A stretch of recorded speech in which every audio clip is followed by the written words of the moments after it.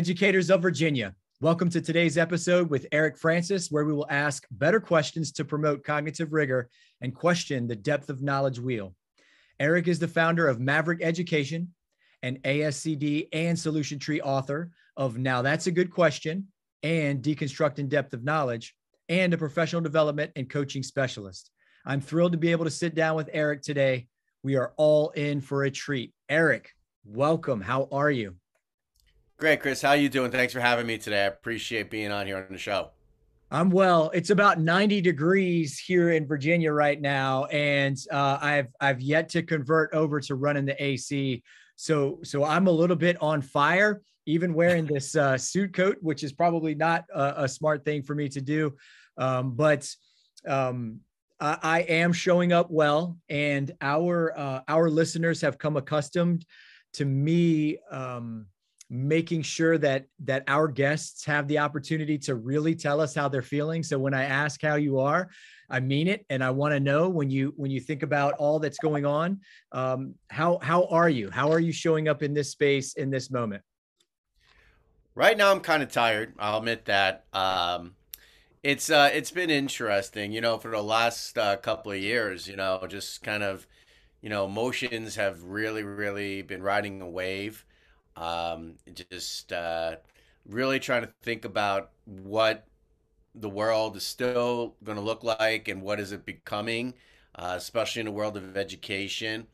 Um, you know, it, it's it's been it's been uh, you know, be honest with you, I'm glad you know you kind of opened that up there. It hasn't been that fun, you know, being a professional development provider, uh, being an author, because a lot of things right now um, I mean, there's timeless work, there's timeless, you know, skills, there's timeless strategies, but this is really also a time where I think education really needs to make a shift. And what I've really been doing to even, you know, balance out my social emotional feelings about what's been happening with the pandemic, because I got torpedoed during the pandemic. I'll admit mm. that. Um, you know, no one wanted, uh, no one wanted rigorous professional development, and I totally get it. You know, everyone wanted PD on, um, you know, how do I turn on a computer and what's this thing called the internet, and and and really trying to figure out how to maneuver through this online world. Um, even this year, I mean, you know, if you think about all the narratives at the beginning of the year, build back better, come back stronger, and there's been such a need to address uh, the social emotional needs, not only of our students but also our teachers, um, and and really you know, trying to maneuver through that, it's caused me to be really reflective about how I'm doing things, how I'm approaching things. Um, has it been stressful? Yeah. Has it been tiring? Yeah. But has it been on a positive of it? And I try to look at the bright side, try to look at, you know, glass half full. I can thank my mom for that, being the, uh, uh, you know, it's funny. My dad used to say she's a Pollyanna, but really, she like really teaches you about, taught me about how to look at the bright side, how to look at other people's perspective. That's helped me as a professional development provider, you know, think about what are they coming into the room with before they get into the training. Um, you know, really looking at how education has the possibility to shift. And, you know, we've been talking about shifting, gosh, since the 1990s, but really, have we been shifting or have we been scrambling? Have we been always searching? Well, maybe now this is the great time. So, again, I'm tired, I'm exhausted from it, but at the same time, I'm energized for it because I really have a lot of hope for education in the future. And, and I think we really need to change a lot of our, not only our, um, uh, our causes, but also how we communicate things. Like, you know, if we say, you know, well, the kids can't handle that. Or even I've heard, you know, hey, the teachers really can't handle the rigor of what you're teaching them. You know, putting that out there, I mean, it just puts an obstacle right in the first place. And we can't, we got to stop that. I mean, kids can do anything people can do anything if we encourage them, if we guide and support them. And I think if we go through education like that, you know, I bet you didn't think about having this conversation when you said, "How you really feeling, Erik?" But that's really how I'm feeling right now. I'm really, I'm really trying to look for uh, more of a hopeful thought about what we could do to make education better and stronger. You know, moving forward, and stop being so siloed about everything too. Mm. Let's let's start. You know, we talk about an ASCD, the whole child then let's address the whole not a whole child but also the whole educator the whole individual. So. Yeah no i i appreciate that. And and i love just you know your your authentic honesty about how you really are showing up and and and what this period of time um, has done for you has done to you. Um, but at, coming out not on the other side of it because you know we're we're not completely out of the woods yet but we're really beginning to make that shift and and think about what's possible. And i just love that that eternal optimist spirit uh, that you come into it with. And and what we're here to talk about today is extremely relevant um, for our schools for our teachers and for our school leaders as we are all engaged in accounting for unfinished learning or as some some folks like to call it learning loss um, the pandemic, along with all the challenges we faced in the last two years, and they have piled up. Uh, it's created an overwhelming need and sense of urgency to better meet the needs of our students. So, questioning and deeper learning, two of the things that we're really here to talk about, are two important pathways for us to respond. And we're going to start really with your most recent book, um, um, Deconstructing Depth of Knowledge. But let's start with depth of knowledge. What is important for us to know?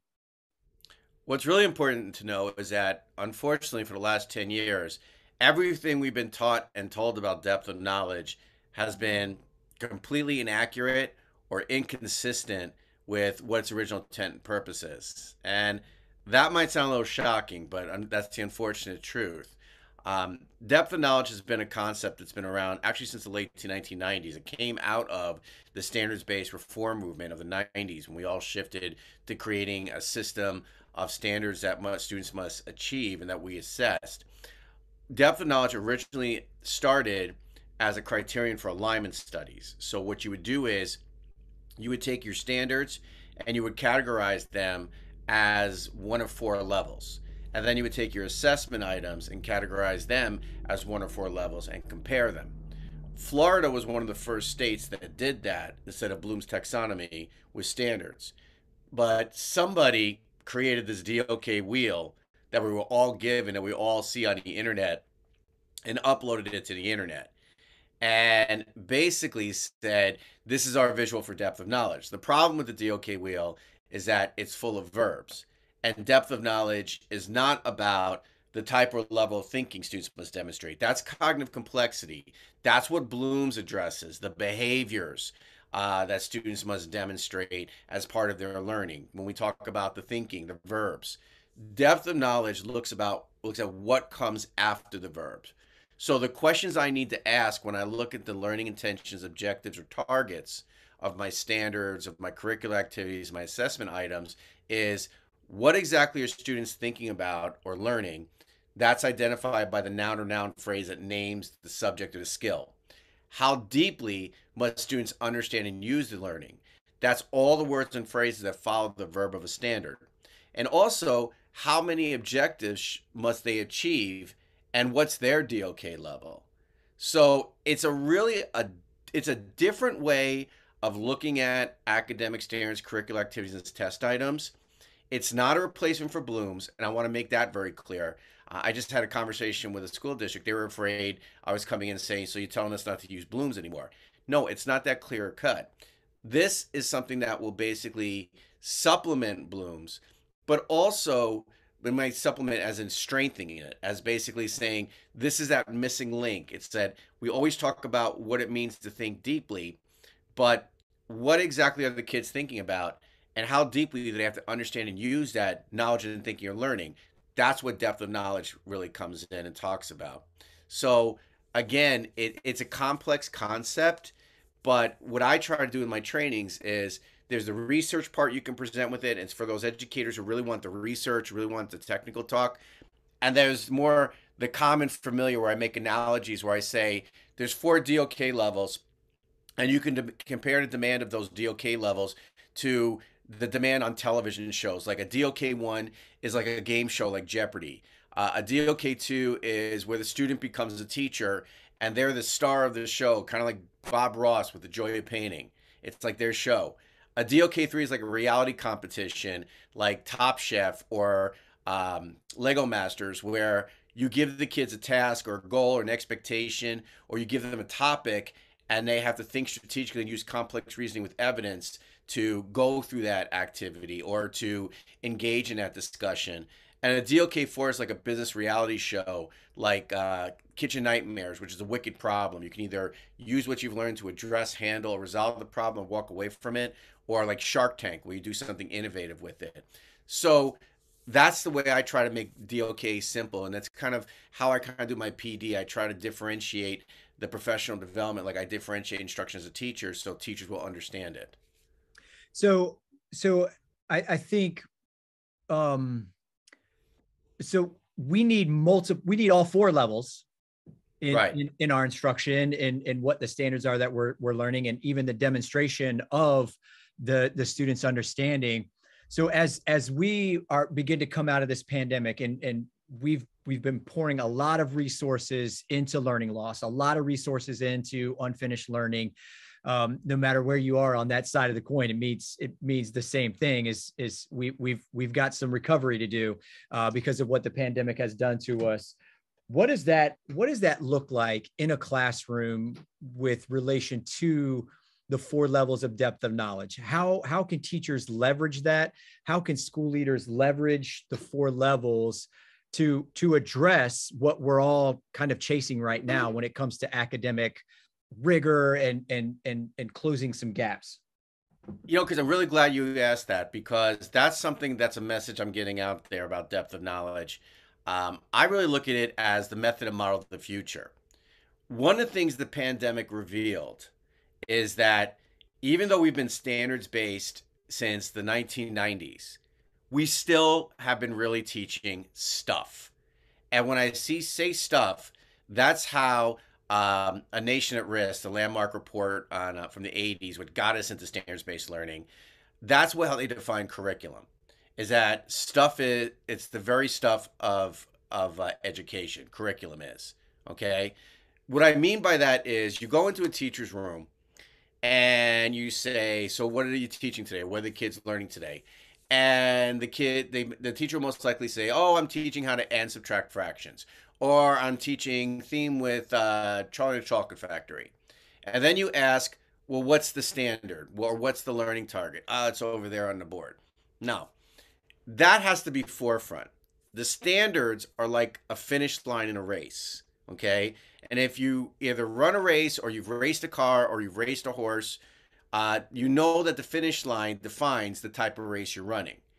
When you tell me that I'm teaching adding and subtracting fractions, or I'm teaching um, Pythagorean theorem, or I'm teaching uh, central idea and theme with Charlie Chocolate Factory, or Romeo and Juliet, you're telling me the kids, you're teaching the kids to run, but you're not telling me whether they're running a dash or a marathon.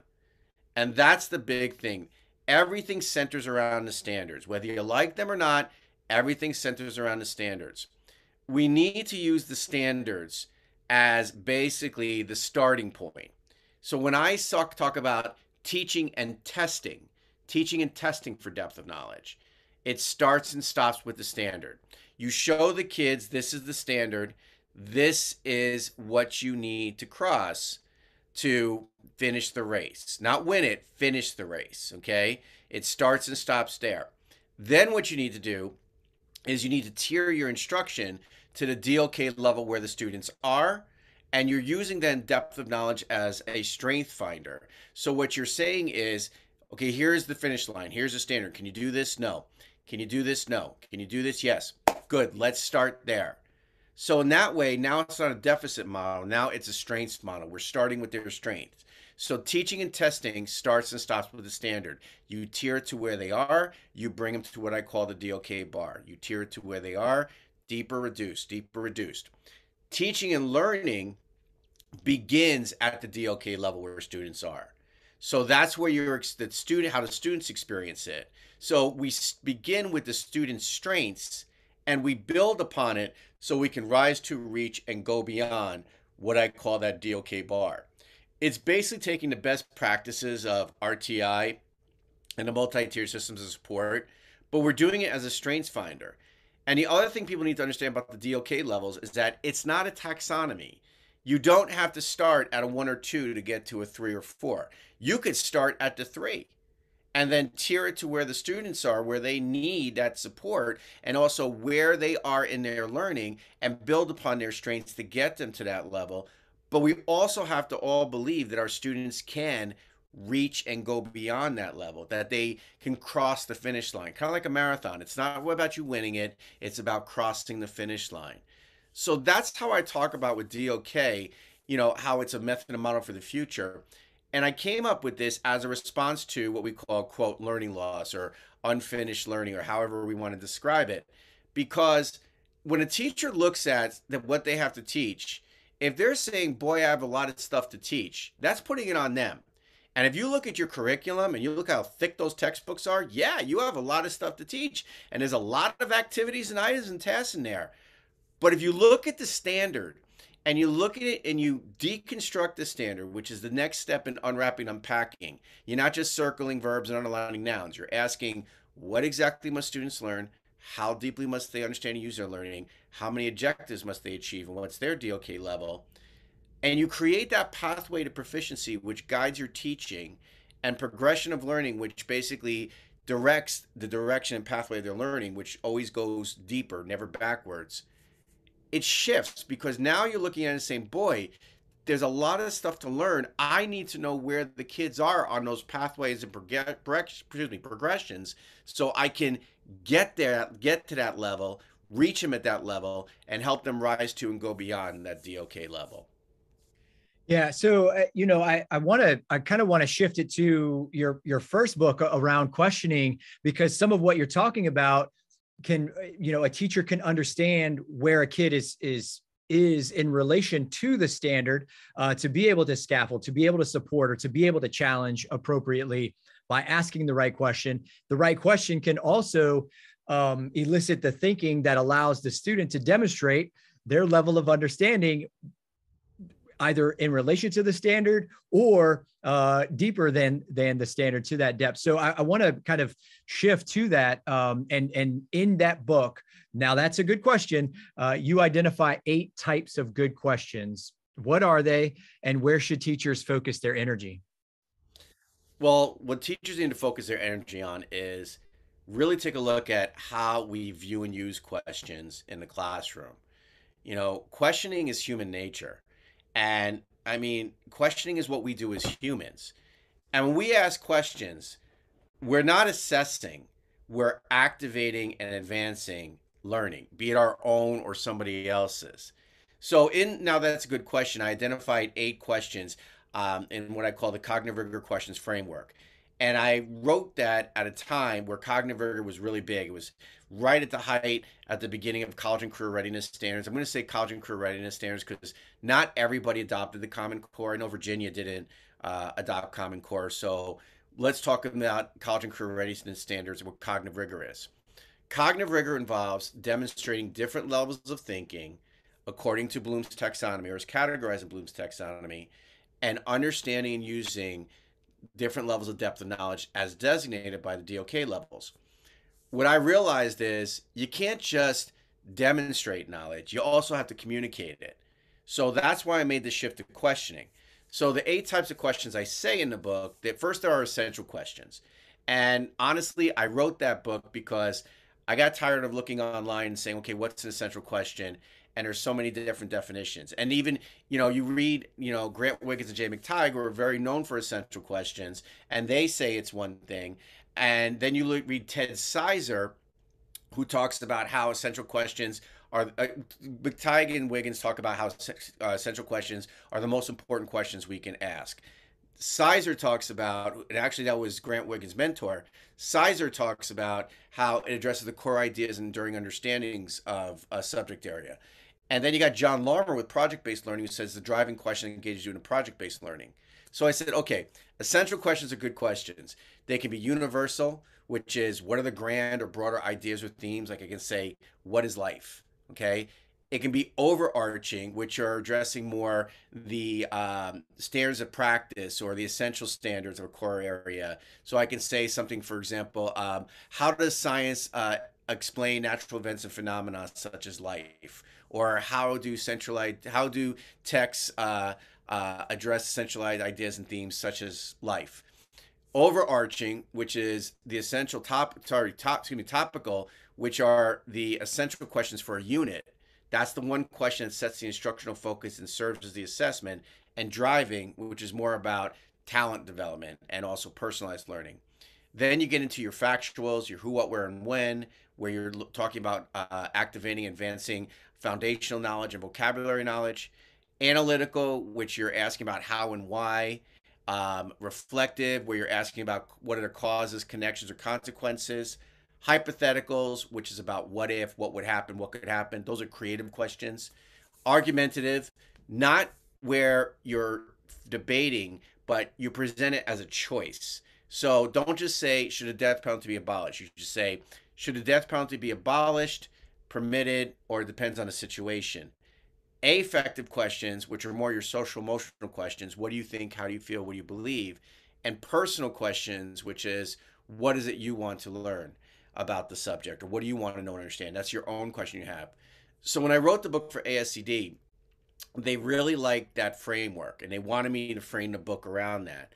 So, but in that time, what I've realized is one of the things that I've had to do as, you know, an author of a questioning book and also as a professional development provider is I really got to focus on how we view and use questioning. And what's interesting is when we go to school, questioning is how children and adults interact. It's one of the primary ways. But when we go to school, it changes because children between the age of two and five, they're all asking questions. most popular question they ask is why. And what happens is is that when they go to school, now it's the adult who's asking the question. The adult's the teacher, and the student has to answer it. And the question is not being asked to activate advanced learning, it's being asked to assess and affirm it like a check for understanding and that makes questioning very off-putting. Like if I asked you a question you didn't know, you would basically get turned off by it or, feel frustrated. And that's not why we ask good questions. So when I when you when people say to me, "What is a good question?" I said, "It's not what is a good question, it's what a good question does."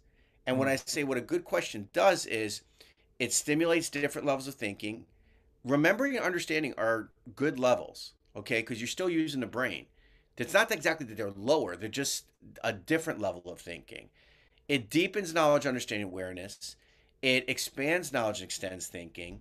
It piques curiosity, interest, imagination, wonder. So if I ever said to you, how did Edgar Allan Poe create an entire genre of literary fiction? I don't expect you to know the answer unless you have some background knowledge on it, but I'm getting you interest in learning that. Okay? And also, it encourages students to express and share their learning in their own unique way. That's also how I look at rigor. Rigor is not about difficulty, it's about the complexity of learning. And one of the most complex things we can do as a learner is to communicate our learning, to communicate it not only correctly, but also comprehensively and clearly. That's where the rigor is. Because here, I'll, I'll do something with you right now, Chris. Let's go into a lesson. What is two plus two? You would tell me four. And I'd say, what do you mean? that's rigor. Right. Okay. That's rigor. Okay. Now, to make it standards based, the standard says understand how addition can be uh, interpreted as taking apart, putting together. Okay. So I would change that to a question. I would say, how can un- addition be understood as um, increasing, putting together, taking apart. And I'd give you the problem two plus two. You explain to me how you got four doing that. Or you would pick two numbers. Give me two numbers. Uh, six and eight. Okay, good. How can addition be used to find the sum of six and eight? That's the deeper learning we want the kids to do. You also can give the kids the answer and ask them why is this correct or incorrect. That's a DOK three. What I used to do is I taught all the subject areas. I used to teach out of my content area to give up my prep hour to make extra money. So what I used to do is I used to do when I taught math, I always told my kids, because this is the way I was in English language arts, answers come free. You just have to tell me whether they're correct or incorrect. So I used to put a bunch of thing answers on worksheets and say, okay, why is that correct or incorrect? Now they have to think strategically to examine, explain with evidence. That's a DOK three. Or if I shift the conditions, if I say, okay, you have this problem, What if this happened? Now you're having them think strategically.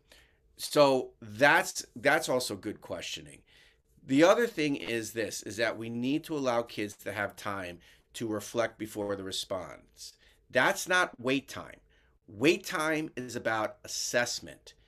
This time I call it is think time so the student can reflect on it. So if I said to you something along the lines of um, how why did Teddy Roosevelt start the National Forestry Division when he was president? See, that's think time. Okay, yeah. I'm not waiting for your answer. Uh, this think time. I want you to reflect on that. Okay, don't you find it odd that a, someone who was a big game hunter was also a nature conservationist? That's think time. See what I mean? So now you're reflecting on it. Yeah. What if I told you it's because he encountered a Sasquatch in the Pacific Northwest?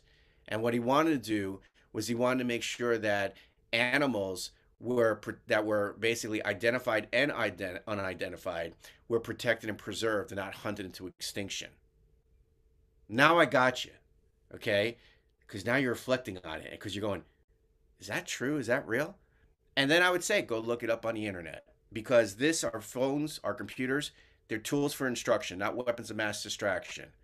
Okay. Kids are going to use their phones in their room. We might as well go and have them use it productively. I've even doing this thing lately with discipline where I say, if you have a kid on the phone, why don't you go like this? Go like say, hey, I'm going to give you two choices. Number one, you can put that phone away, or number two, you can go online and see whether I'm talking about is accurate or inaccurate. Go find me the credible source.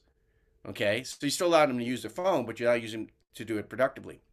When I've done that with my students, what happens is they would go search for on the internet and they found out there was actually a story in uh, The Wilderness Hunter by Teddy Roosevelt, which was written in 1898, talks about this thing called the Bauman Incident and how basically it was about a fur trader named Bauman who talked about how he encountered an ape like creature in the Pacific Northwest and it wrecked his camp. This is 1898 my kids were so excited about that that they basically wanted to read the story and they found it. And we read that chapter, we read the story. Now, at the same time, did they realize that's the reason why? No. But it got them into it, it got them wanting to learn. That's what good questions do. They enhance and encourage learning, they enhance and encourage inquiry, they get the kids involved. We have enough tests out there and let me tell you, tests don't ask questions. They say, do this, here's an item, you get it correct or incorrect. Congratulations, you either met or you didn't meet the standard. Okay. That's why I even say about tests. We need to stop saying test and need to start saying assessment. Tests, you either get it or you don't. They both go in the same place in the trash. But assessment gives me the information that tells me where I need to go next. Okay. They're tested enough. What if we used questions to get the kids excited? What if we use questions to say, so how did all the symbols in the um, periodic table get their names? Why are they in that order? What if we had a meteorite crash on Earth and we checked out to see what all the elements in it, and there was a 6% element that was unknown? How can we determine what that element is? What would you call it? And where would you put it on the periodic table? That gets kids excited okay? Not when you assess their knowledge, but when you activate and advance it. That's why you ask questions. And the simplest way is to do it is this. I'll do another one for you. Chris, who's the first president of the United States? George Washington. What do you mean? okay, I want to know your knowledge. What's interesting is people then clarify it because that's what a good question does encourages you to express and share your learning. So then you might say he was the first elected president of the United States. Then I would say to you, well, what if I told you that there were actually eight presidents appointed before him under the Articles of Confederation? Well, what's the Articles of Confederation, Mr. Francis? Well, that's what we're going to learn. Because at the end of this unit, you're going to be understand how the successes and failures of the Articles of Confederation led to the writing of the United States Constitution. That's your standard. Here's your central question. How did the success and failures, the Articles of Confederation, lead to the writing United States Constitution. This is one thing. And basically, now I got you interested in learning that. That's what questioning does. Yeah. Well, and, and I love the way that that ties in too to to the depth of knowledge and meeting the kids where they are because as as the teacher there's both the science side and the art side of of which questions you ask to to which students because you probably wouldn't ask a question that would be either so far over their head or so below their understanding that either it's not going to trigger that curiosity and maybe it will um, or it it won't trigger trigger the interest of of where that kid is. So i, I appreciate that and just the simple follow-up of well what do you mean? I mean that could be followed up of if any DOK one type of, of, of question or, or, or any level that is, well, what does that mean? I mean, you did it to me uh, when you asked me two plus two in the first, the, the first president, both of those you, you asked, well, what does that mean? And it automatically triggered whether I wanted to engage in that conversation with you right now or not. It's still triggered. Well, what do you mean? Well, let me think well, about that's that's the big part about questioning. And even though they're called levels, let's not judge the levels. Let's not critique. Let's categorize. Okay because a low level is not bad and a deep level is not good, not better. Okay. And really, our job with questioning is to get kids engaged. So let me give you, I'll give you another example if we got time here. Um, I was observing a class, and um, the teacher was up there. Good teacher, great teacher, sage on the stage, very, very captivating, really explains it. But the kids, unfortunately, this is a generation where they need stimulation. A multisensory generation. You, you need to kind of time it out and you need to make sure that you're not talking too much, that you're doing a balance of, I'm talking, now talk amongst yourselves. Or I'm, and, and I call that the Linda Richman after the Saturday Night Live skit where I'm feeling very verklempt. Talk amongst yourselves. I'll give you a topic. You know, did Truman drop the bomb to, you know, punish the Japanese or scare the Russians? Discuss. You know, that that's actually something from the show. So I'm in the class and I, I got a text from the principal. I'm observing her. And the teacher says to me, Excuse me, we don't know, we don't use cell phones in here. If you use cell phones in here, you'll miss the magic. Ah. Okay, keep going. And, Sorry. And the teacher looked at me like, what do I do? I said, go with it, go with it. And she goes, if that's what you want to learn, we're going to learn that. We'll turn into a unit. See, that's the thing. When you get the kids and you get the kids engaged, as a teacher, really try to get it where you can get it back to the topic because the kids will throw you off. But if a child asks you a question or a child gets you into something, you don't know why they're asking that question especially little kids, okay? Because you're in class, you're teaching about addition. Does anyone have any questions? And I'm sorry, if you say, Does anyone have any questions? You basically have invited the time for show and tell. Because that's where I was when I was a kid. When my teacher says, Does anyone have any questions? I was like, Yeah, why do I get a chill down my back every time my buddy walks past me? Erik, we're learning about math right now. I know, but you said any question. That's my question in my mind. Okay. Social emotional aspect steer it back. So let's say, for example, you're teaching math, you're teaching addition. Does anyone have any questions? Kid asks you and goes, "Do you think Bubbles a good name for a hamster?"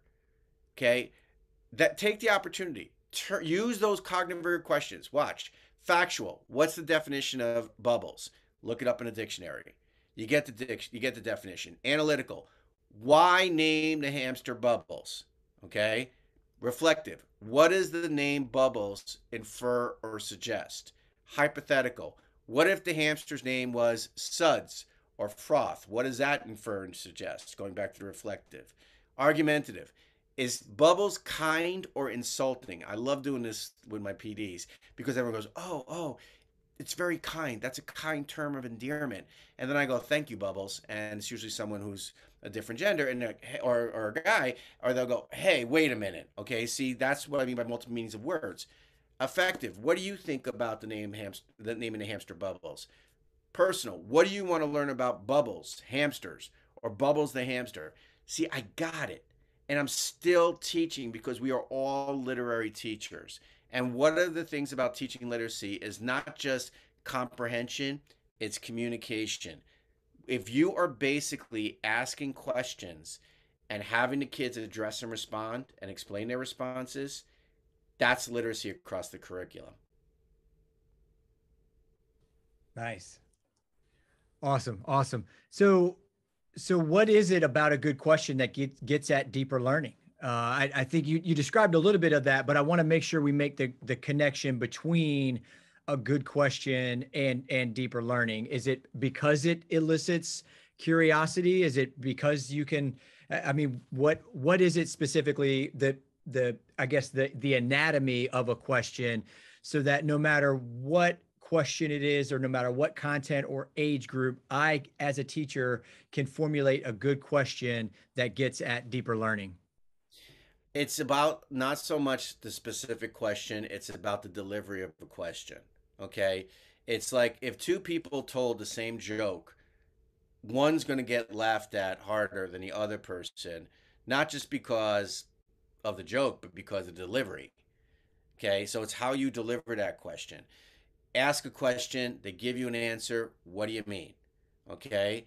Ask a question. If they don't have an answer, give them that time to reflect. Ask a question if the kids feel hesitant to answer. Do a talk amongst yourselves, the Linda Richman. That's how you get it. So, what you're doing is you're using questions not only to assess, you can use them to assess. I mean, they're great assessment questions, but you're doing it to activate and advance the learning. Okay. And it's really just all about your delivery.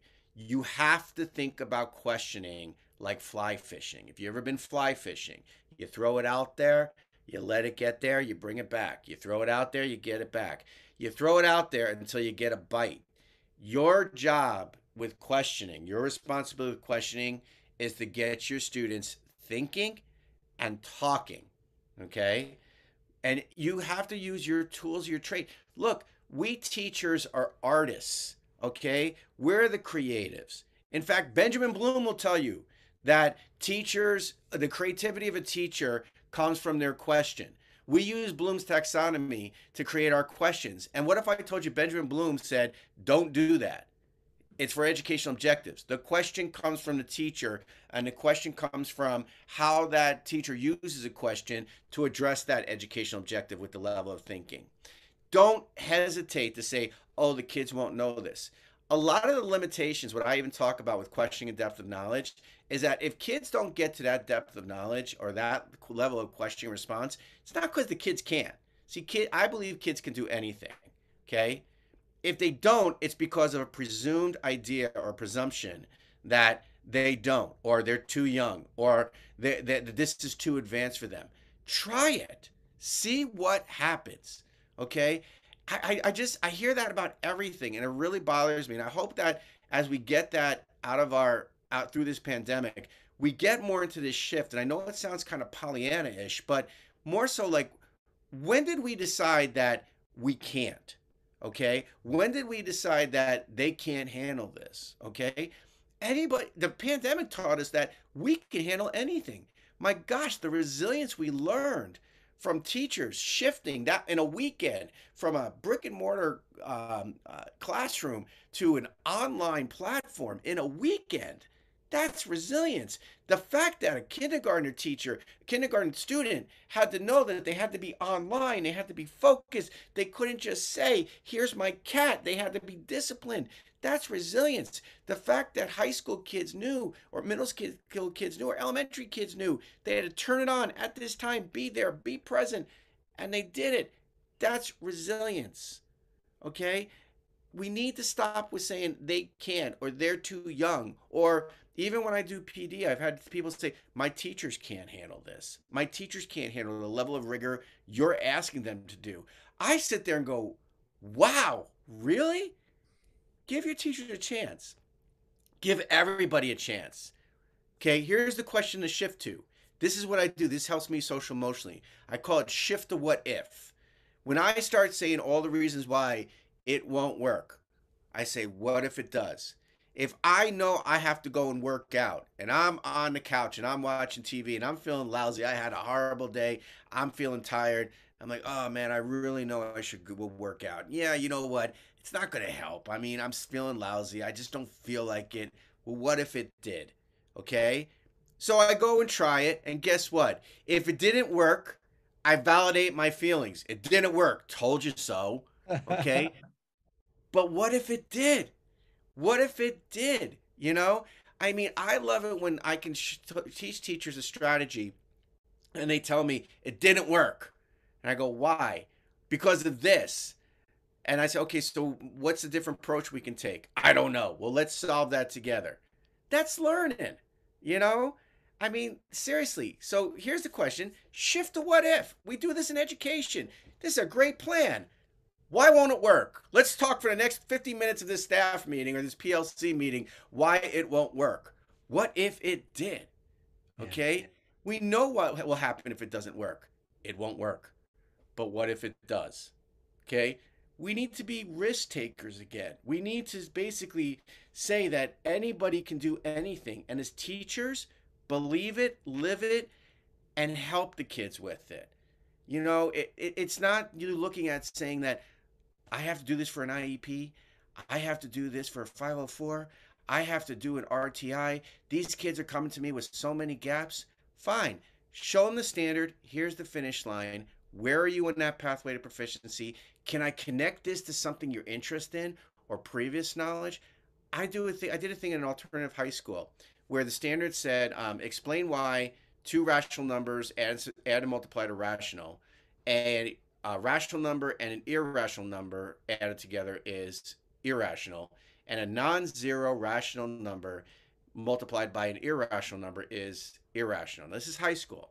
They've been learning rational numbers since sixth grade. So I said, okay, guys, what's a rational number? Nothing. Okay, what's an irrational number? Nothing. Okay, listen to me closely. What is an example of a non zero rational number? Silence. Listen to me closely, guys. What is an example of a non zero rational number? Is it a number that's not zero? Good. Let's start there. Give me a number that's not zero. Five. Good. Tell me about five, what we can do with it. We make a rule. They give me all these numbers. I said, okay, now what if I put negative in front of all those numbers? Does it meet the rule? Can you measure it? Yes. Can you do the properties of operations? Yes. Can you count it and concretely? Yes. Can it be found on a number line? Yes. Okay, good. So what do we know about negative numbers? They're rational. Good. So what does rational mean? Makes sense. What does irrational probably mean? Not make sense. Give me numbers that don't make sense. Kid in my class went like this fractions. And I said, What do you mean fractions don't make sense? They don't make sense to me. That was a ninth grade class. I had to tear that down to third grade to help them really understand deeply what a fraction was, that a fraction is part of a whole. It's actually a division problem where you divide a denominator into a numerator. Oh, I can do the properties of operations and get a what? Decimal. Oh, so decimals are fractions, therefore they're both what? Rational. And if it's a repeating number, it's rational. If it a terminal decimal where it ends, it's rational. It's those numbers that keep on going on and on and on that's irrational, like pi. And if I move it over two places, the decimal, what do I make? A percent. So that must be what? Rational. And ratios are actually fractions, so therefore they're also rational. One class and I got all the problems correctly. This is an alternative high school. Remember, they didn't know anything until I asked those questions. And I got them where they were, tiered it to where they were, built upon their own confidence levels, and got them to succeed. That's what we need to have do as teachers. That's the future of education after this pandemic. Yeah.